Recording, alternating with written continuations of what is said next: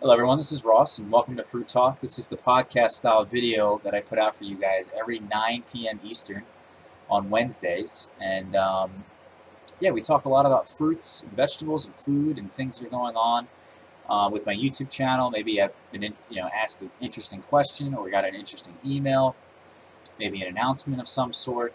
You know, all things related to fruit, all things related to vegetables.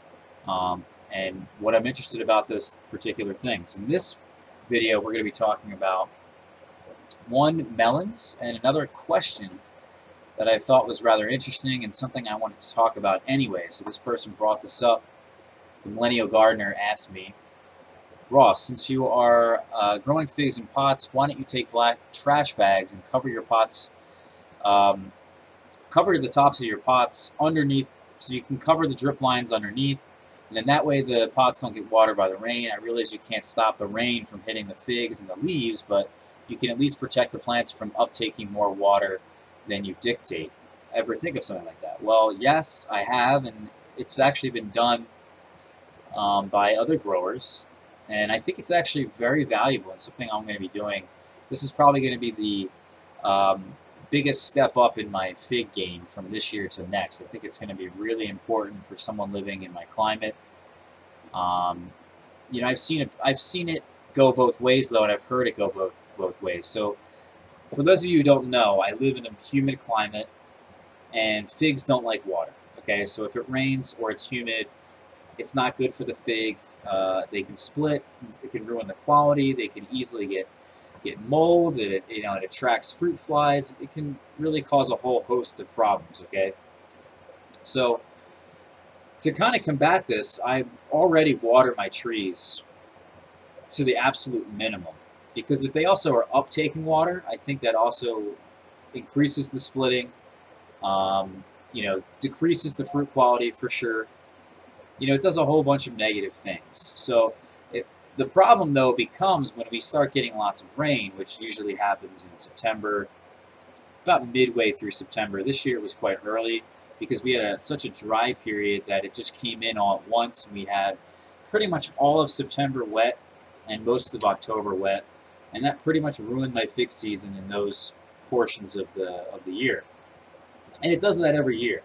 So it kind of stinks how that lines up you know, with fig season, because that's usually when most of my figs start to ripen, is September. Um, so one way to combat this, and what Millennial Gardener is saying, is cover the pots with trash bags or something else to stop any of the water from the rain getting into the soil. I want to be able to control the exact amount of water that my trees are getting in all moments. I think that's, like I said, immensely important. Um, now, I don't exactly know if I want to go with the trash bags because that's historically what people have used in the past. You know, I'm not, he's not reinventing anything. I'm not reinventing anything. It's already been done. I should say inventing anything. It's already been done.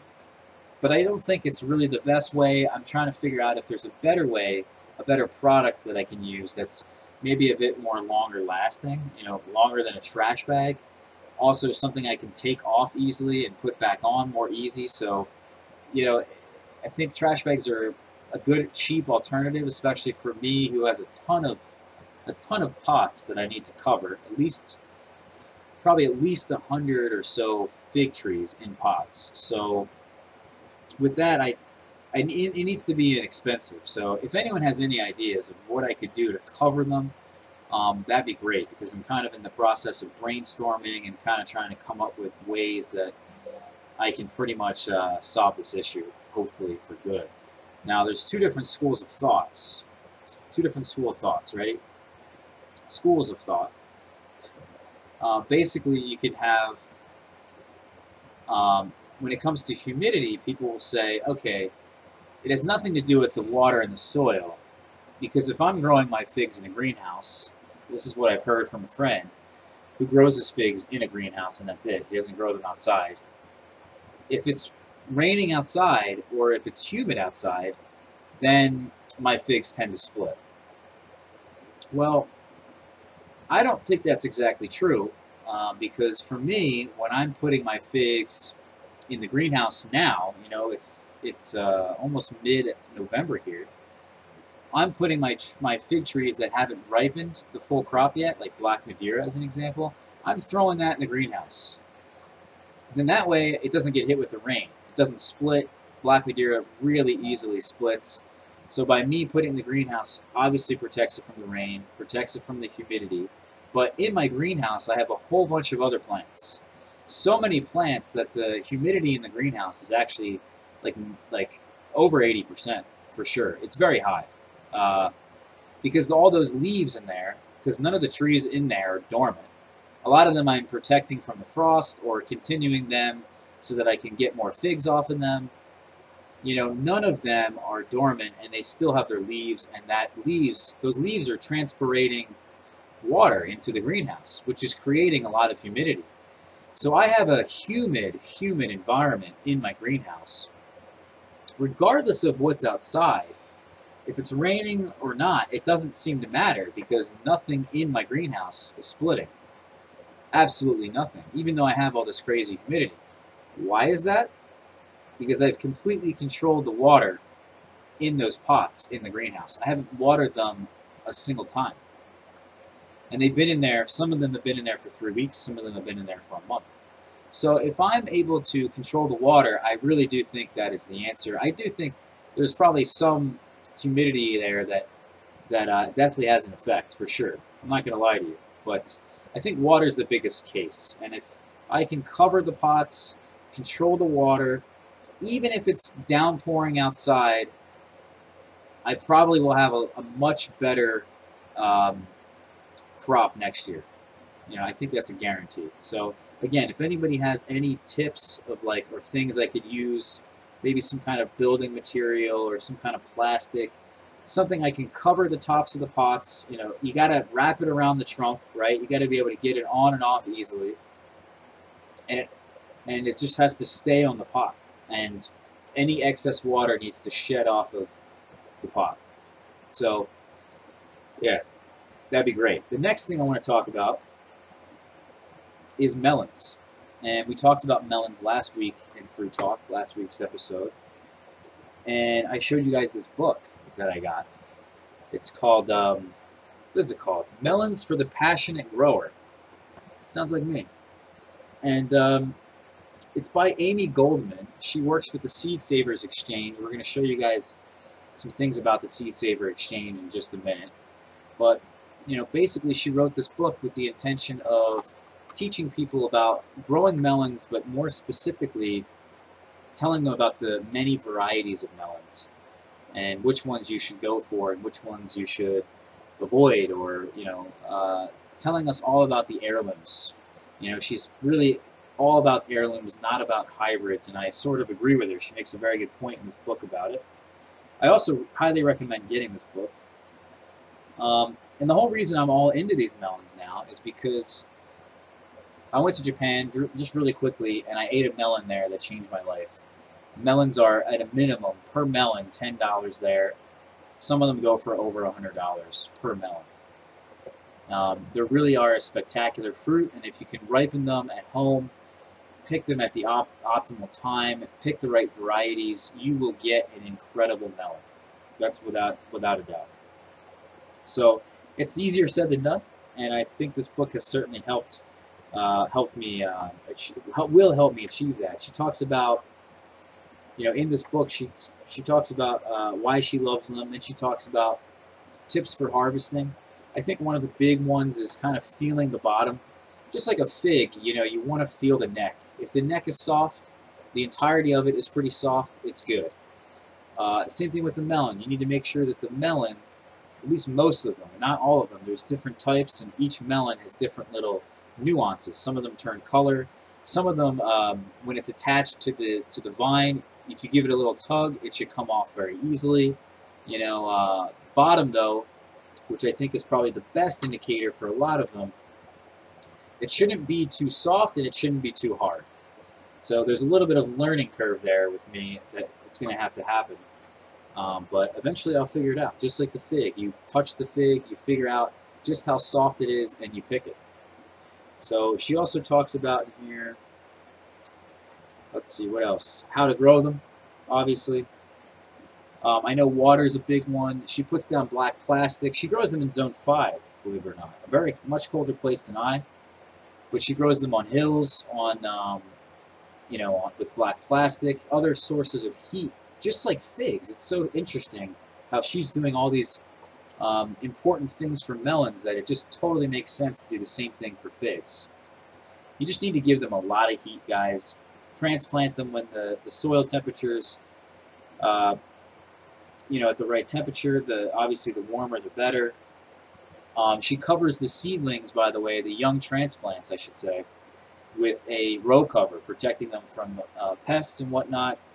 And then once the temperatures start to get a little bit warmer, the pests start to go away. She then uncovers them, and with the help of the black plastic, they take off.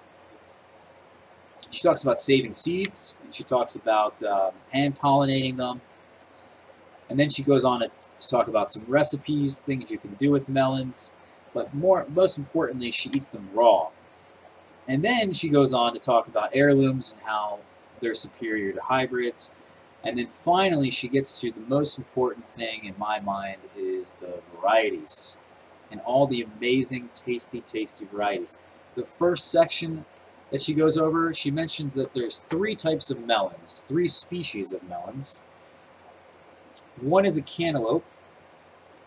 Um, the second are musk melons. And then the third is a, uh, I forget the species name, but it's a broad category of melons that can cover all kinds of interesting little melons. Um, even cucumbers, what we would consider cucumbers, but um, or what we would consider we would consider these weird cucumbers to be cucumbers. They're more um, in the melon family. So she goes over all, three types, but really there's only two that I'm interested in the most, which is cantaloupe and muskmelons. And here's the weird thing that I learned in this book that she probably answers. Here's the fun fact, right? She probably answers this question all the time. And just, it's like the easiest, most ridiculous thing that you probably would shake your head at if you really grew a lot of melons is that what we know of in, the, Amer in America as a cantaloupe is actually a muskmelon. And what we know as honeydew in America is actually a muskmelon as well. So we've never really eaten a cantaloupe. I've never eaten a cantaloupe. I've only eaten muskmelons. I don't even know what a cantaloupe tastes like. Uh, so cantaloupes are quite different. I'll show you guys pictures right now. So you can see this melon here. It's got these like ridges in them, kind of like a pumpkin does. See what I'm talking about? They've got these like ridges at each little section of the melon. They're also quite smooth on the outside, kind of like a squash or a pumpkin, like I said. Um, you know, some of them actually split at the top. So you can see on this melon here, the top here is actually split open. Um, some of these cantaloupes, they they just don't have that netting, right? They don't have that netting, and they don't. They have a smoother skin, and they usually have those ridges in them, and they're very, very beautiful, and they're very, very tasty. So we haven't basically been, I think, because they're a bit harder to grow, I believe, than a lot of the cantaloupe varieties that you'll find that have been cultivated as heirlooms. Some of them have a bit more problems to them, like like the splitting that I mentioned. Um, there's a few other things in here that she mentions that it kind of gives me the, the thought that, oh, that's why we only have muskmelons really sold in the stores because they're just more difficult to deal with, uh, cantaloupes. Now, if we go to the cantaloupe section, really quickly, you'll see the netting that I'm talking about on all of these muskmelons. That's the key feature of them. See how that they're netting like that? And what I want to do right now is not, instead of showing you guys this book, I want to show you guys all the melons that I chose. Okay, so reading through her book, reading through all the opinions that she gave. She even did Brix readings, gave the history of each one, tells you the weight, tells you the you know the sugar content, the ripening season, any synonyms, um, you know, all kinds of things. She goes into very great detail, and I've I highly appreciate it because this this book it will save me years of trial and error and money, for sure. So I've mainly chosen early to, uh, early to mid-season varieties because I'm in zone 7 and this is definitely a crop that's a bit more difficult to grow. Um, the other thing that we struggle with is Fusarium wilt and I really hope that this particular garden patch that I'm going to put them in this year doesn't have any Fusarium wilt. I've never seen it there, but um, I think there's a few things I want to completely avoid just to make sure that I don't get any Fusarium wilt this year. Um, it may be impossible, but anyway, let's get into the varieties here. So this is um, one variety, and I, I'm not going to even try to pronounce some of these, but she goes into really great detail of some of these melons that I've chosen. This is one that she highly, highly recommends. Um, so this is one here, and you can tell this is a this is a cantaloupe, even though it, it's green on the inside. And I think because it's verte, that means green in France. So just because it's um, a cantaloupe doesn't mean it has to be orange. And this is one of the green cantaloupes that she really, really likes. Here's a Kajari melon, which she doesn't recommend. I don't think she, um, you know, this may be something more new or something she didn't have access to by the time she published this book, which was in 2002, I believe. So this thing is uh, a bit out of date, I think. Is it 2002 or is it 2008? Yeah, 2002. So this thing's a little bit older, but you know, there's this is a new variety here, Kajari melon, that I put a lot of research in previously, and have come to the conclusion this is a really tasty melon. So regardless of, and it also should perform well here. It's an earlier uh, melon, and uh, regardless of, you know, whether or not this is in the book, if I see something that I think is interesting on the internet, I'm going to see if I can try it and see if it's worth a shot, right? You know, I'm not going to be just um, zoned in to the, whatever she says in this book. Yeah, I'm going to take her word for it because she's been doing this just like I've been doing figs, right? You know, bet your ass if someone grew something as passionate as I did and in, in the quantity as I did, I'm certainly going to be paying attention to what she has to say. Um, here's a watermelon that she highly recommends. She also has a section on watermelons. I forgot about that. And these are two watermelons that I really, really like. One, because they're smaller, they're more personal sized. For me, I'm going to be growing them vertically up trellises, so a smaller watermelon or a smaller melon is really going to help me um, be able to grow these things vertically. They're also more productive that way, usually, and something like Blacktail Mountain is very early, perfect for short season areas. I didn't try to get the tastiest watermelons. This wasn't on my list of things to do. Um, there's Alibaba, Orange Glow, Sugar Baby. You know, those are some really tasty watermelons of heirlooms that have high reputations. But I didn't go for that with the watermelons. I also went with Golden Midget, which is another one that's great for short seasons, very productive. In her book, Amy talks about just how productive this is, and it's the best melon she has. I think she says if she were to grow one watermelon or something like that, this is the one she would do, or so, something like that. Here's a Charente Taste melon, which is a sub, I think it's a subsection of cantaloupe. And I totally botched the pronunciation there.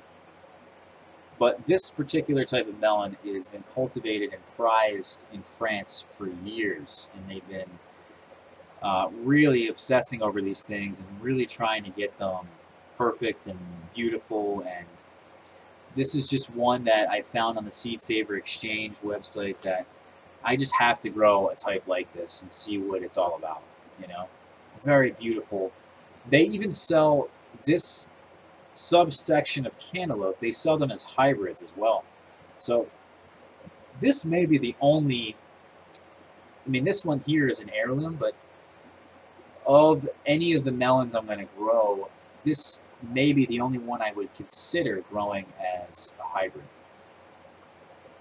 Um, but, you know, it's very easy to save seeds with melons, and having them as an heirloom that you can save seeds year after year and even potentially adapt to your climate, improve over the years, that's something I want to be focusing on.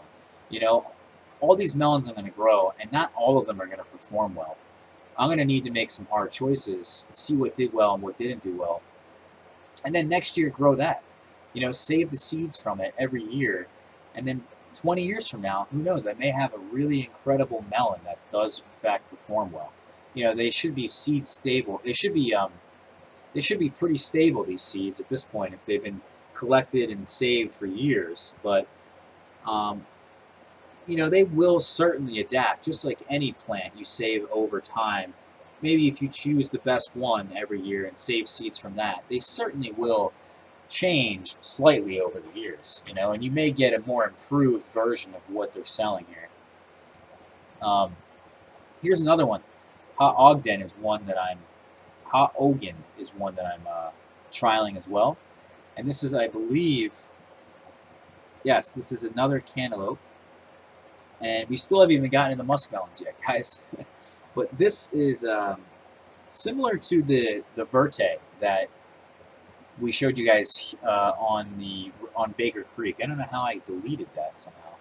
But yeah, this is it's similar to this melon, as Amy Goldman says, in that it's a cantaloupe with the green interior. So this is another one that we'll see if how well this one does, and she really likes them both, to be honest with you. Um, as we go on, we finally get to the muskmelons, and this is called Eden's Gem, an early maturing melon. Again, this is a, uh, also a smaller melon that she really recommends. Um, I'm also growing Jenny Lind, a melon called Jenny Lind. This is what this is supposed to be, even though it's not it's not lettuce. But here it is right here. So Jenny Lind, another one. These are just, you know, melons that I came across. And you could go into her book, guys. I'm not going to read every little thing, but, you know, she says in her book, it says, uh, Burpee's 1907 Farm Annual touted the button as the best part, which is the outie belly button that this melon has on the bottom. And um, they say it's the best part, a delicious morsel, intensely sweet.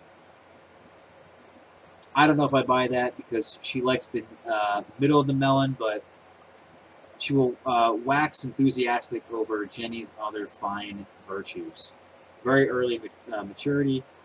And I think this one was more chosen not necessarily for the taste, but definitely for the fact that it's so early. Now, one melon that she really, really loves, and I'm going to find it here and read it to you guys, is, is called the Petite Grise. And this is the melon right here. So this guy here um, has a brown sugar flavor is what she said. This is a really fantastic melon. Um, let's see what she says here about the flavor.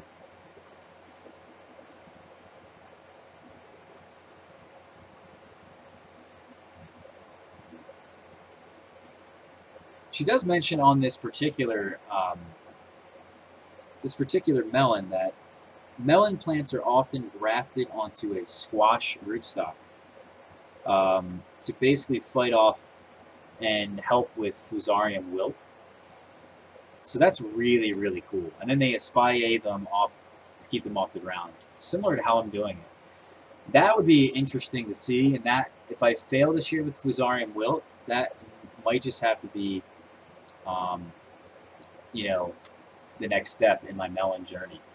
She says here that Petite Grise is so good, it gives me the chills as wonderful as a Charentais melon is, Petite goes a baby step further, making it la creme de la creme of French melons. You will blink your eyes with disbelief when you sample its sweetness, which is more like brown sugar than white.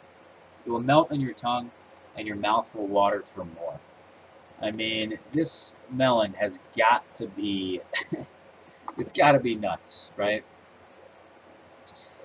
Uh, here's another one here that I it looks like to me another cantaloupe, but in actuality she has it listed here as a muskmelon. So weird, but maybe it's not the same. Maybe it is. And then we have Noir de Carmes. This is another cantaloupe. I think the cantaloupes really are um, interesting, more more interesting than the the muskmelons for sure. I think the cantaloupes are really where it's at when it comes to, to flavor. Um, although, I hesitate to say that because in Japan, the melon I ate, I believe, is a muskmelon. I never saw the outside. I never actually saw the melon itself. Other than actually, you know what? I did see the melon itself. I just never looked on the bottom. So, I don't know. But it seems like the uh, the cantaloupes are definitely a better choice. And this is another one that she really, really loves. Um, one of the easiest to grow, it says down here, and most luxurious of all melons. This one uh, is complex, deeply satisfying, it says, and it tends to split. Now I want to show you guys a picture. This is what I meant, I think, by the splitting that I was mentioning before. But this is one that she really, yeah, here it is. So we showed you guys this one. See the top there, how it's splitting? And she says the reason, if you're interested, for the for why it splits, I think if you leave it on there too long, it does split. So you have to make sure that you're, it kind of is an uh, indicator of when it's ripe in actuality. If you're selling this for um, commercial ability for, for uh, to sell, you know, you would obviously pick this a bit earlier, but this melon is so nice that it literally lets you know when it's ripe. Unfortunately, it splits open, and if it splits open, it doesn't last nearly as long on the counter, so you kind of have to eat it right away. But um, it's kind of easy as it gets. That's why it's one of the easiest to grow, as they say here. So really, really cool to smell, even though it splits. And then here's Minnesota Midget. This is, she said, her best melon that she grows um, in a colder, short season climate. So pretty, pretty cool. I'm uh, really excited to be doing this. Very passionate melon grower, as you can tell. And um, yeah, I'm just very excited to show you guys what the melon plants are doing next year, do some taste tests. I mean, this is going to be, I really believe that, it took me forever to realize this too, because growing figs, I knew for so long that there were so many interesting flavors and really some interesting intricacies of growing figs that I think there's a similar thing with melons as well. You know, it's a similar thing. Less water, you know, pick it at the exact right time. You know, all of that is so, so key. You know, maximum sunlight, maximum heat, you know, uh, minimal water. I mean, I feel like a broken record talking about the same things when it comes to melons and, and figs. So hopefully that helps me. I already got the basis going in there, but you never know what that fusarium will. So Anyway, guys, that's going to be it for Fruit Talk episode 6, I think this was. So we're, we're getting rolling here. We're doing this for six weeks, and I've also put out at least 120 videos in a row every day. Put out a video a day for 120 days. So hopefully you guys have been enjoying this, not only my podcast, but also just all the videos in general. So take care, everyone, and uh, I'll talk to you all soon.